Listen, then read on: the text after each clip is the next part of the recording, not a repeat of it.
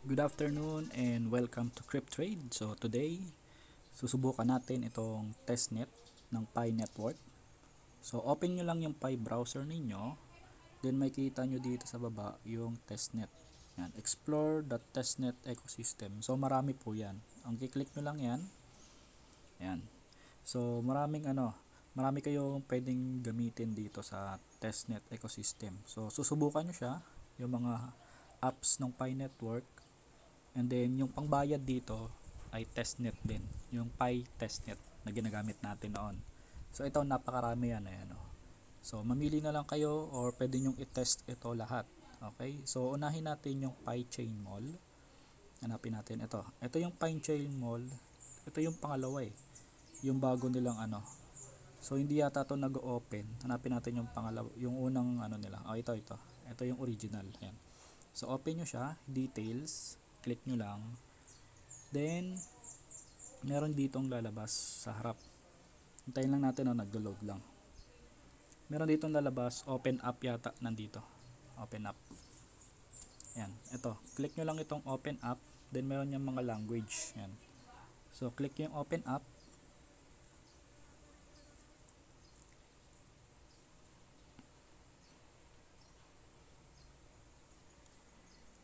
yan So, click confirm.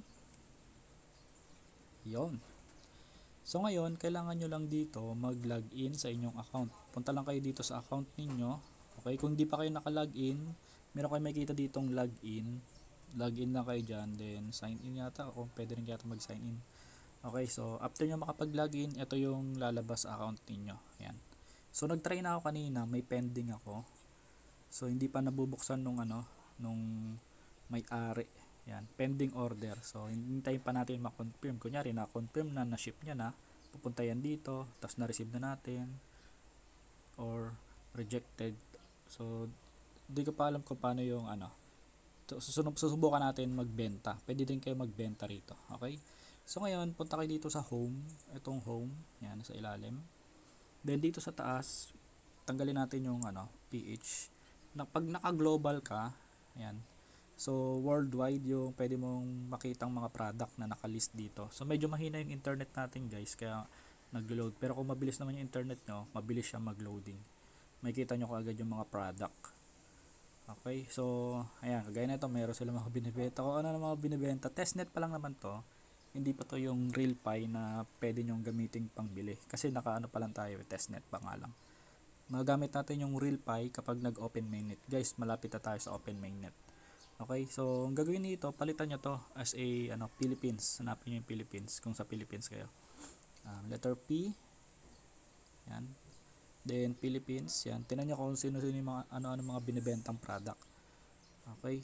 Kasi hindi pa siya pwedeng mag-ship from ano eh.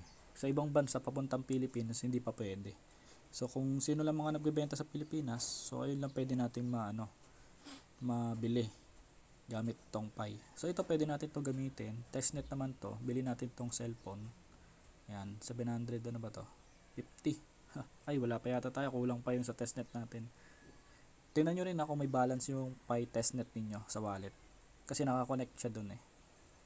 Um, ito na lang siguro. Ano ba yung medyo ano? Itong damit. Tingnan natin. Uh, kung tingnan nyo rin kung may stock ka. Wala eh. Zero yung stock. So, hanap tayong iba to yung ano ba to? Wag yan parang pangit naman eh. Ito on the short. Wala rin. So wala masyado nagbebenta itong chanelas uh, wala rin stocks. Ito pang isa. Wala din yung stocks. So, ito na lang relo. Ay kulang yung ano natin. Yung balance pala. No, nasa mababa. Ito na lang 15 ayan to pwede to. Yung ano testing natin. 15 ayan may tatlong stocks pa. Click mo yung buy Then, kung hindi pa nakaset sa inyo yung ano, yung address, yan. Pag testnet naman, kahit anong address yung ilagay nyo. Basta connected sa Philippines. Okay, kung nasa Pilipinas ka. Or kung ibang bansa, pwede mo i-try, ibang address ilagay mo. Ito yung address, talagay mo lang yan. Pilapan mo lang yan. Huwag nyo muna ilagay yung real name ninyo. Okay, kasi ano pa naman to, testnet pa lang naman siya. Okay. Then, click mo yung buy sa atin nakaset na no. Nakaset na 'yan. May set na tayo. So ngayon ito hindi siya pwede mag-add ng ano ng kung ilang bibilin mo. Isa puro isa lang eh. So click nyo lang submit. Yan. Submit. Then successful. Yan. Then ito susunod niya ito pay na. Okay babayaran mo siya. Ito sa baba. Pay now. Then ito 15 click mo to. Yung may button dyan. Tapos pay now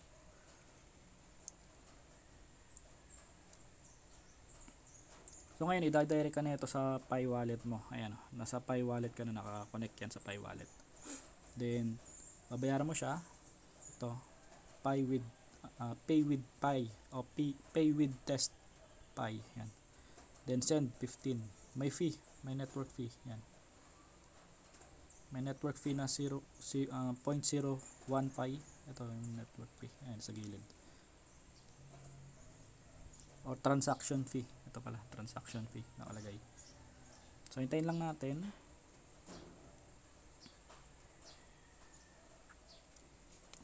Ayun, so successful na yung ating um, order. So, i-close na natin yung ating order. Ayan, nakapagbayad na tayo. So, ngayon, um, kino-confirm na lang dun sa blockchain.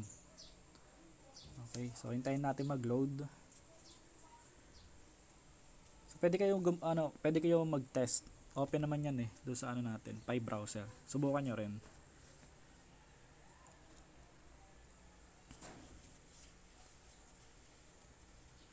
So refresh natin. Yan.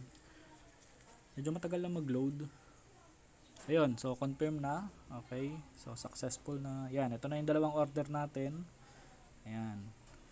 So ngayon kung hindi kung ang tagal i-deliver ayan kung matagal i-deliver meron naman nakalagay request for refund eh no Ayan. So, naka-pending pa siya, pending. Nandun pa to sa seller. Okay, kung may ano, sa shop niya. Kailangan niya i-confirm to na, na ano niya, nabayaran. Then, isi-ship nila yan. Papunta sa address natin. Then, marireceive natin. So, unrated, i-rate natin yung product. Request for refund after sale or rejected. So, ayan yung mga nandiyan sa ano. Okay, so ito yung unang test na ginawa natin dito sa PyChain Mall. So marami pa tayong susubukan. So stay tuned at susubukan natin yung iba pang apps. Okay?